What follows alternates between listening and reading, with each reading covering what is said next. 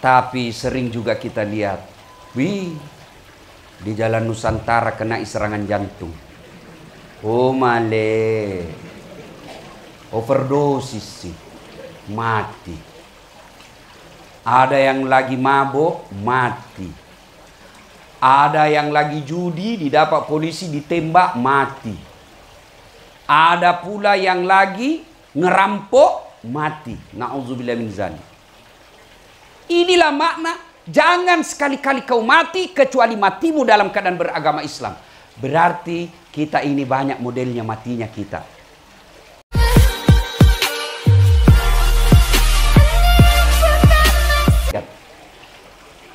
Ya ayyuhalladzina amanu taqullaha haqqa tuqatih wa la tamutunna illa wa antum muslimun.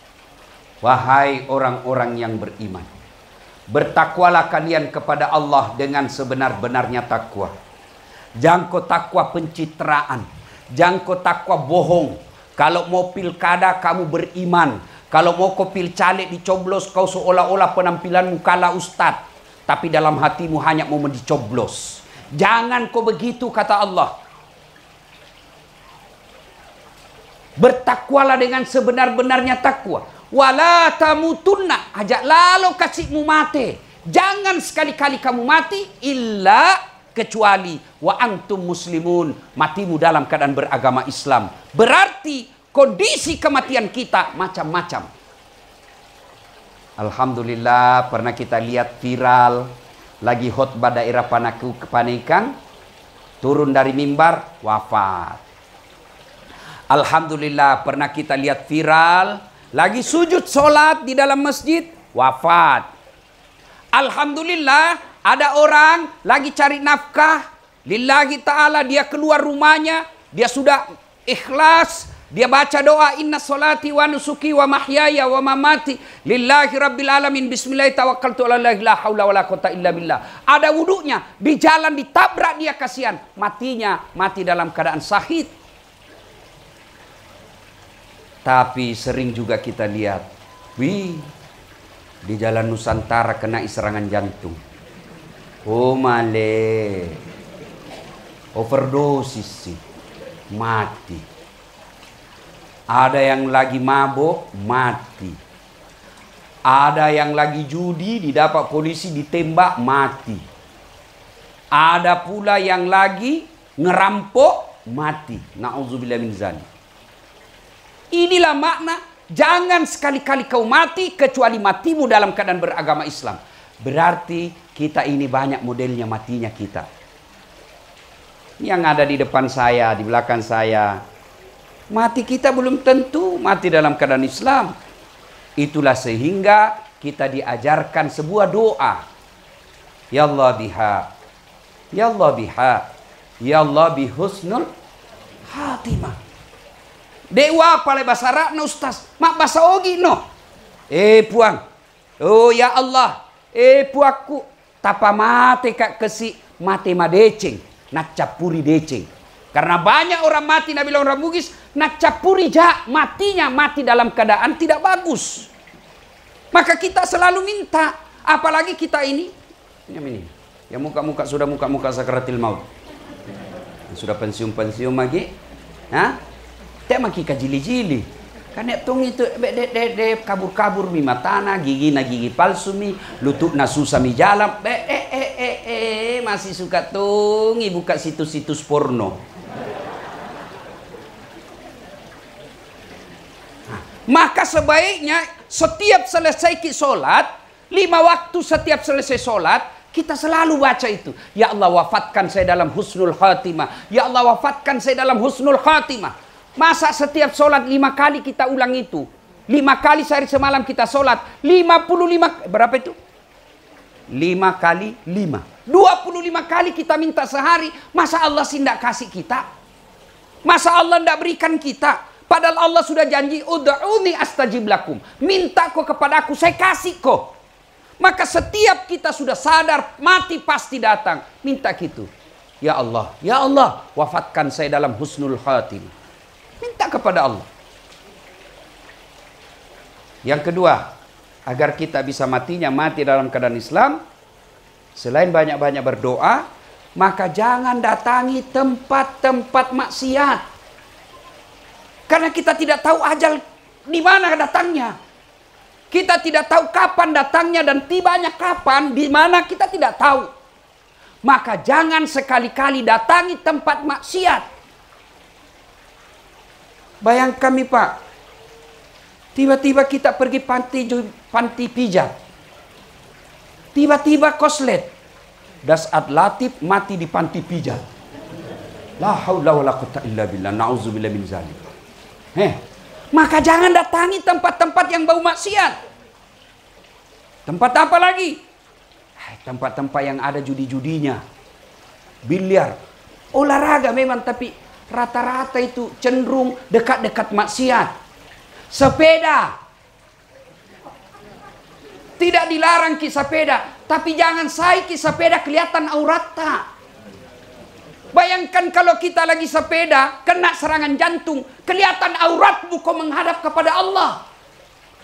Apa kau merasa masih bisa selamat? Kau tutup auratmu tapi sempit kelihatan itu mak. Mak baju-baju. Oh male. Maka sebaiknya karena kita tidak tahu di mana mati, kapan datangnya. Siap kau dengan cara apa? Jangan kau bikin maksiat. Nauzubillah min zalik kalau kau lagi maksiat nah mati kau. Isin kau sama istrimu pergi rapat di Jakarta. Tahu-tahu nak didapat kau di mall. Di mall kebakaran. Mati kau sama itu perempuan. Apa kau tidak meninggalkan aib? Ada kan yang kita baca itu di koran. Viral kebakaran di atas mobil, nauzubillah min zalik. Bukan istrinya ditemani. Dan itu tengah malam. Apa yang dilakukan kecuali mendatangkan fitnah? Maka sebaiknya jangan biasakan dekat-dekat dengan tempat-tempat maksiat. Karena kita tidak tahu kapan datangnya ajal. Yang ketiga, supaya kita bisa matinya dalam keadaan husnul khatimah. Ibu-ibu berteman dengan orang-orang baik. Berteman dengan orang-orang baik. Bu kalau saya jalan sama pengiti masjid pengurus masjid apa yang paling dibahas? Paling dibahas ceramah paling dibahas kegiatan dakwah paling dibahas hasil ceramahnya tadi. Paling kalau kita pergi jalan warung kopi. Di warung kopi pun masih kita pakai songkok dan tidak mungkin saya jalan sama panitia masjid. Misalnya Pak Asar langsung saya bilang Pak Asar di mana ada panti pijat paling bagus di sini? Pasti ih Ustaz kau sadar kok kajili-jili. Ya kan? Maka tempat teman itu bisa menyelamatkan kita dalam matinya kita mati dalam keadaan iman ibu bapak saudara-saudara sekalian itulah makna dari ayat ini nah, apalagi yang membuat kita bisa mati dalam keadaan kekafiran. Hubbi aklil haram. Suka makan makanan haram. Saya yakin Bapak Ibu yang ada di sini tidak mungkin makan ki bangkai. Tidak mungkin ki makan daging bab satu. Tidak mungkin kita menyerobot alkohol. Tapi ada bendanya halal. Satnya halal menjadi haram. Kenapa? karena cara memperolehnya haram. Apa itu ibu? Satu, uang sogok menyogok. Ini biasanya paling banyak kalau ada momen-momen politik. Pilkada, pilwali, pilcaleg, pilpres. Nah itu bi. Kita dapat itu uang sogok, kita cerima cuma 300-500 ribu, lalu tiba-tiba kita makan, hati-hati. Tidak ada yang jamin kita mati dalam keadaan Islam karena yang masuk ke dalam darah daging kita adalah uang haram. Termasuk Bapak Ibu, hati-hati ditraktir.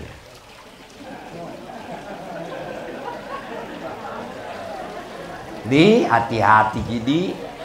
Kalau kita tahu ini uangnya banyak uang pasepe, uang haram kita tahu bisnisnya haram dan kita tahu orang yang kehati-hatian namanya menjaga dirinya hal-hal yang subhat, maka dia tinggalkan. Kalau dia tidak tinggalkan, Nabi bilang saya pak bayar.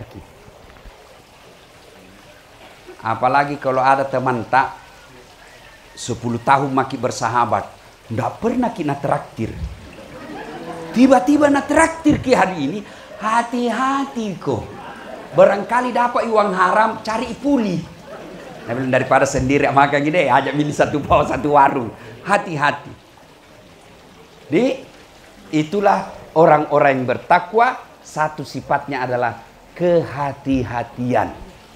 Nah, ibu bapak, saudara-saudara sekalian, poin yang keempat yang ingin saya sampaikan, dunia ini sementara. Al-Quran menginformasikan, wamal hayatud dunya illa mataul hurur Iye linoe accule-culeammi. Iye linoe lepang-lepangami. Iye linoe tipu dayami. Hati-hati kok. Maka dunia ini kita hanya dititipi. Dunia ini dengan segala isinya hanya titipan dari Allah. Karena dia titipan, maka pertama titipan itu jangan membuat kamu sombong. Saya nak titip kak mobilnya Pak Ilo. Nak titip itu baru ku pakai di sini komplek. Wih, tahu ah. Uh, jago mobilnya. Baru pika mengaku. Bergaya-gaya masuk di komplek ini. Tidak mengaku kak, tapi gaya-gaya. Tik, tik, tik. Uh, kasih buka kaca. Tik. Semua orang dalam komplek ini bilang, gaya ustaz, na mobil dititip jago itu. Jangan membuat kita sombong. Yang namanya titipan jangan membuat kamu sombong. Apa titipan itu? Satu, harta. Harta ini titipan. Ini, ini, ini rumah ini. Titipan dari Allah. Mana istrinya beliau ini? Bro, ini titipan jibu. Kalau mati ki, siapa nikmati rumah? Siapa nikmati? Istri kedua.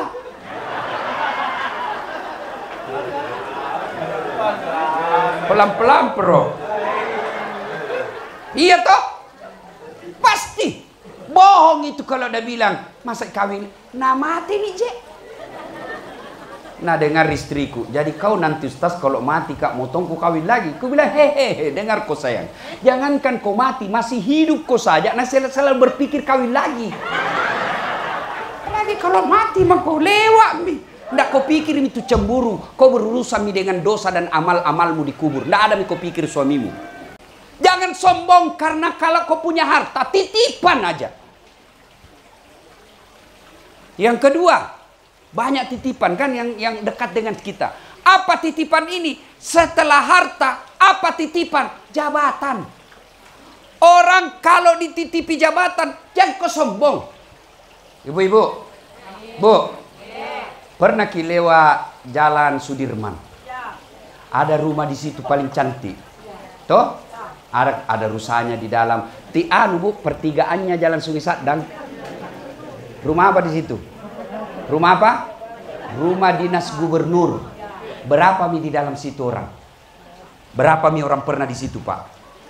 Yang ku ingat Amin Sam lewat masuk Sahrul Yasin Limpo lewat masuk sudah lagi itu siapa lagi Nurdin Abdullah sudah itu masuk lagi Sudirman eh, siapa itu nanya ya yang sekarang coba bayangkan ibu kalau masih mau Pak Amin Sam tinggal di situ boleh apa enggak masih mau ngotot-ngotot nah bilang kurang gila ayo rumah jabatan wali kota Pantai berapa nih tinggal di situ Titipan di semua, pindah kok, keluar kok.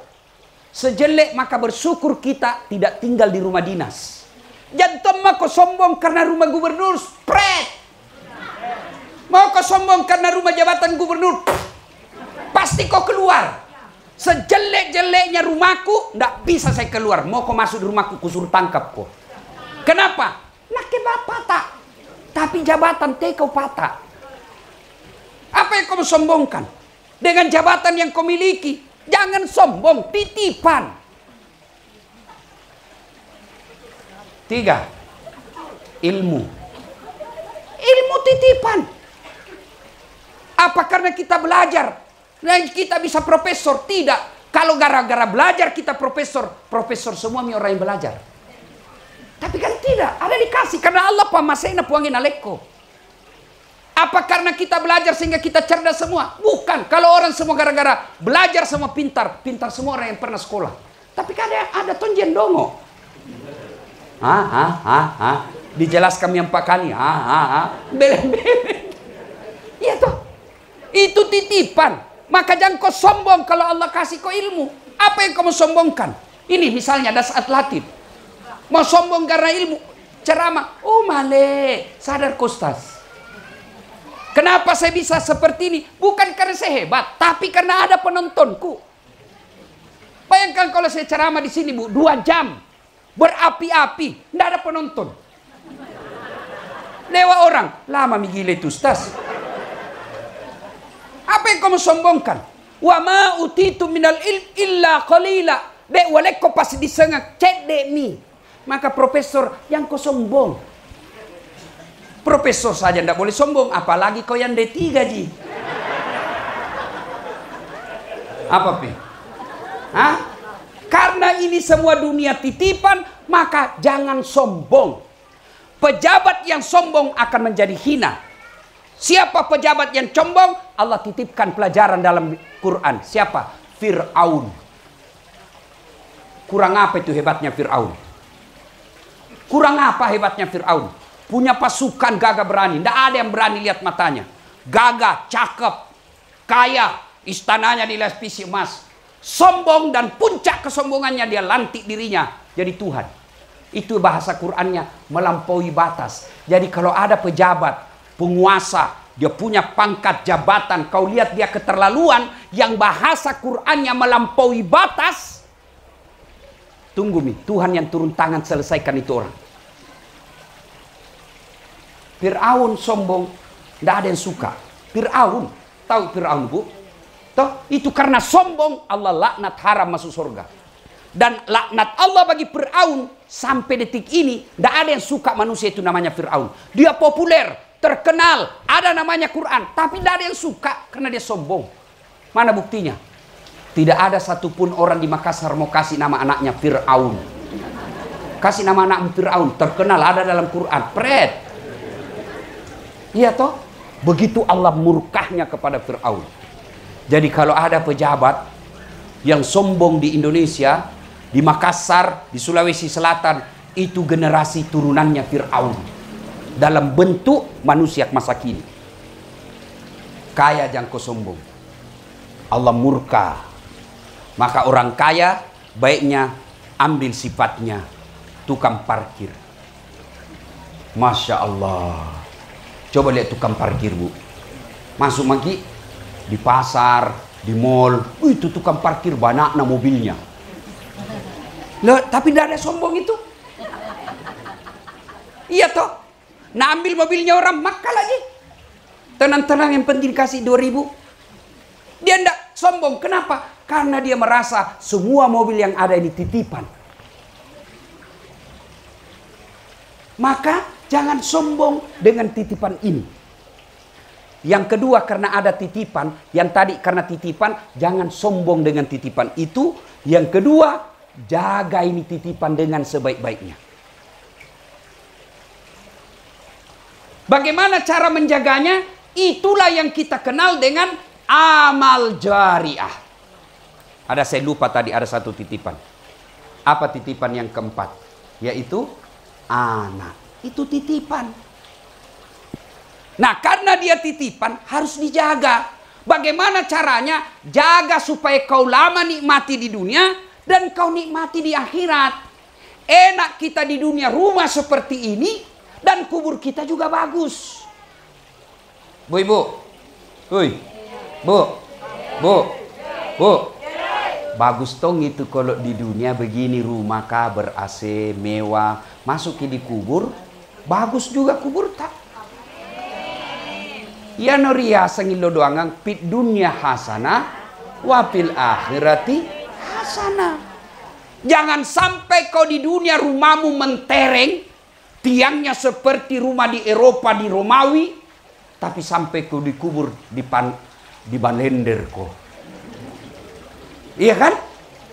Eh. Jangan sampai di dunia ini kau miliki segala-galanya, lalu dikubur kau menderita. Itu bukan tujuan hidup orang Islam. Tujuan hidup orang Islam di dunia dia selamat, di akhirat dia selamat. Maka perlu kita pelihara. Bagaimana cara pelihara ini harta ini? Bukan dengan jadikan uang kita nasabah prioritas, bukan begitu cara jaga Allah. Bukan dengan cara beli emas banyak-banyaknya. Bukan begitu cara menjaga harta ini. Cara menjaga harta adalah mas sudahkaku. Sedekahku. Sedekah. Ibu-ibu. Pak. Pernah pergi ke Eropa? Pura-pura mungkin saja pernah. Atau dilihat di televisi tuh. Lihat itu orang-orang hebat zaman Eropa mereka mengabadikan keberadaannya dengan membuat patung. Ya toh? Maka kita kenal ada patungnya Hercules, ada patungnya Leonardo da Vinci, ada patungnya eh, dan lain-lain. Ya toh? Itu Romawi dan Yunani, beda agama kita. Tapi orang Islam, hartanya dia bukan bikin patung, tapi dia buktikan saya pernah hidup dengan bukan membuat patung. Tapi apa dia bikin? Masjid. Itulah sebabnya kalau pergi ke umroh dan haji biasanya dibawa ke siara di Madinah. Ada yang disebut Masjid Tujuh. Ya toh Bu? Ya toh? Yang belum pernah umrah ku doakan ki cepat umroh. Daftar ki di terepelku. Toh? Pergi gratis, pulang bayar. Nah, itulah sebabnya Nabi dan para sahabat maka kita kenal ada namanya Masjid Umar, Masjid Utsman, Masjid Ali, Masjid Abu Bakar, Masjid Aisyah. Itu dia simpan hartanya dengan membuat masjid yang berupa amal. Mas sudah kaki bu, jangan kita terlalu pelit. Ada mentong orang sikit sekali lah haula. Nabi bilang di kampungku kikir galap paku jambatan. Begitu sekeknya, biar jalan tidak mau juga nak kasih itu. Itu itu biasa di jalan raya. Kan tarik itu orang pelit. Biar jalan tidak mau tongki nak kasih di kelason di kelason tidak aku bilang lihat aku itu jalannya saja tidak mau kina kasih apalagi warna. Bu ibu, ini yang banyak semua masna. Kalau mati kisah apa pakai itu? Hah? Siapa? Istri kedua.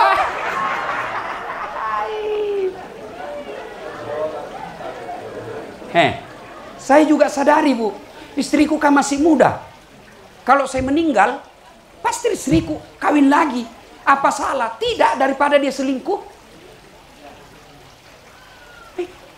Maka daripada rumahku, nampaknya nanti suami kedua setelah saya mati, saya di blender mah dikubur dia pengantin baru umumnya ndak enak perasaan ah.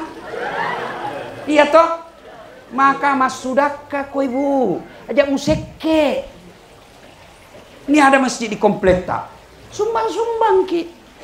Ndak bisa kak sumbang temek semeng ustaz. Sumbang kau jilbab bohong kau kalau ada di sini penghuni masjid ndak bisa kau sumbang tegel bohong kenapa nak kaya semua kau ini di dalam ndak ada orang miskin di komplek ini bohong Kenapa tidak ada sumbang kamu di masjid? Bukan kau tidak mampu. Pelit kamu. Sekek kau. Ini, ini, ini rumah cantik semua ini. Mati. Maka jadi kesedekah. Jadikan jadi kebiasaan hidup itu sedekah. Ibu-ibu ada penyakit tak ke dokter tidak sembuh-sembuh. Salah satu sebabnya ibu malas sedekah. Jangan mi klarifikasi, renung kami, betulkah itu Nabi bilang, bayang kami berapa uang tak berapa yang kita sudah sedekahkan. Tidak mungkin Nabi jelaskan sedekah itu tolak bala kalau memang itu sedekah tidak menghindari bencana.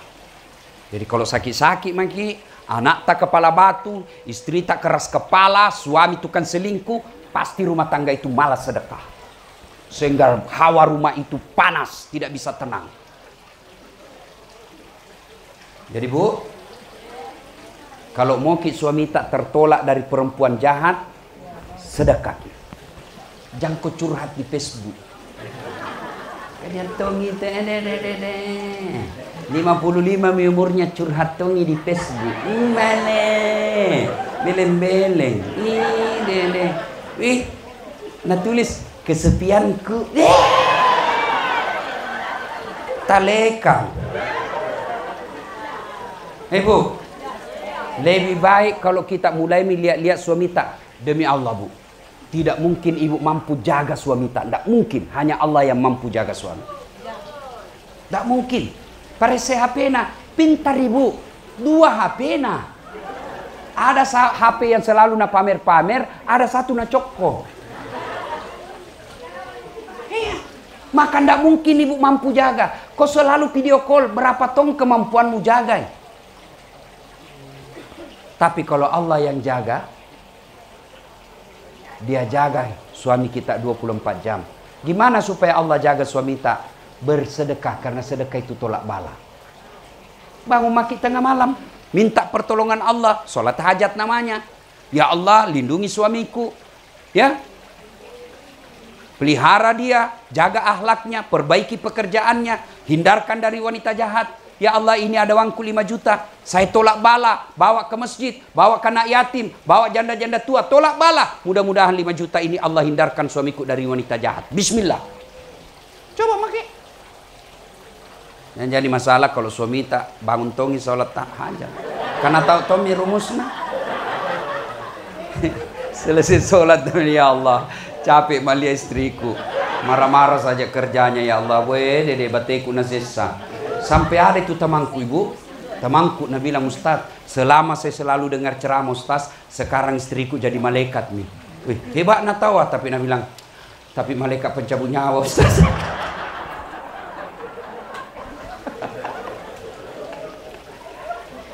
Ibu, eh, sedekah. Sedekah.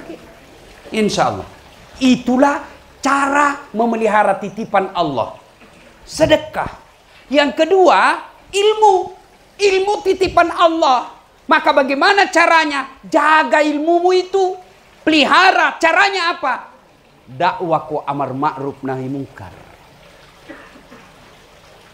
Seorang ahli di bidang hukum, pidana. Bikin maki plot, vlog. Bikin maki ceramah-ceramah satu menit, dua menit. Apa pengertian hukum pidana? Bagaimana hukumnya kalau lagi rahasia lalu lintas diminta HPmu diperiksa. Eh jelaskan itu, itu tidak boleh itu polisi ambil HPmu diperiksa HPmu, tidak boleh. Yang boleh diperiksa adalah apamu? Surat STNK SIM. Tidak boleh nak periksa HPmu. Yang sampai mana eh tidak boleh. Itu maka bikin supaya amalmu jadi amal jariah itu ilmumu. Saya bukan profesor, saya bukan tonga ustadz, Bagaimana caranya saya pelihara ilmu? Sebarkan kau itu ceramahnya orang. Kamu dapat ceramahnya ada saat latip, sebarkan. Yang kau ketawa kau serius gini. Sebarkan. Maka ibu sebarkan ilmu itu orang amalkan. Ibu punya grup 20. Sebarkan di 20 grup. Satu grup itu isinya 100 orang. Eh, berarti 2000 orang kita sebarkan. Masa tidak ada amalkan di antara 2000? Maka kalau ibu sebarkan dakwanya Pak Ustadz, ibu dapat pahala seperti pahalanya Pak Ustadz tanpa mengulangi pahalanya Pak Ustadz. Itu sebarkan. Jangan malah sebarkan berita hoax. Berita bohong. Kalau ada itu buser, cocok Mika. Apakah namanya itu bu? Itu yang suka menyakiti hari orang Islam. Toh? Nah itu senjatanya dia mau disebarkan. Makin disebarkan makinnya suka. Maka caranya kau lawan dia. Sudah mijamu ku maki-maki. Begitu kau dapat di HPmu, hapus, jangan sebar. Begitu cara melawan mereka. Karena semakin disebar, itu memang tidak maui. Ibu bapak saudara-saudara sekalian, ilmu Dipelihara dengan cara apa? Jadikan amal jariah yaitu ilmu yang bermanfaat. Yang ketiga, anak. Bagaimana cara merawat dan memelihara anak? Jadikan anak kita anak yang soleh dan soleha. Kutanya ki lagi bu. Kalau meninggal ki siapa doakan ki? Siapa ibu? Suami. Kami percaya. Gak pernah ada kasus temanku nih haji bu. Waktu meninggal istrinya, bengkak matanya menangis. Hebat nak tahu. Barusan tuh nggak dapat suami menangis sampai bengkak matanya. Bilang rasanya ndak bisa mak lanjutkan hidupku Ustaz. Separuh jiwaku rasanya berangkat bersama istriku. Oh dede, hebat natong.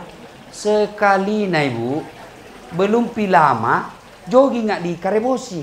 Kuda apa ki? Ada perempuan di sampingnya, masih muda, putih, panjang rambutnya. Kutanya, Pak Ji, siapa itu? Nah bilang, yang baru, Stas. Eh, nah lupa misa baru jiwanya.